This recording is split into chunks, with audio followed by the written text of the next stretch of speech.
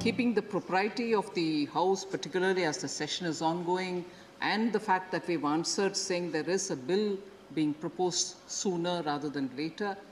um, any answer I would give now will preempt the discussion through the SEBI, through the RBI, and through once, I think, uh, Government of India. There have been statements issued and also um, fairly um awareness building uh, attempt has been made to say to say that this is a risky area and people who are going in there be conscious as to what you're doing.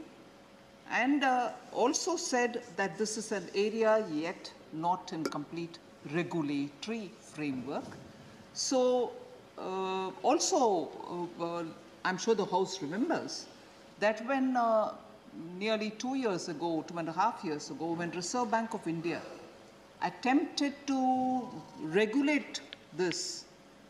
It was through the Supreme Court, the matter was highlighted that in the absence of a clear cut policy,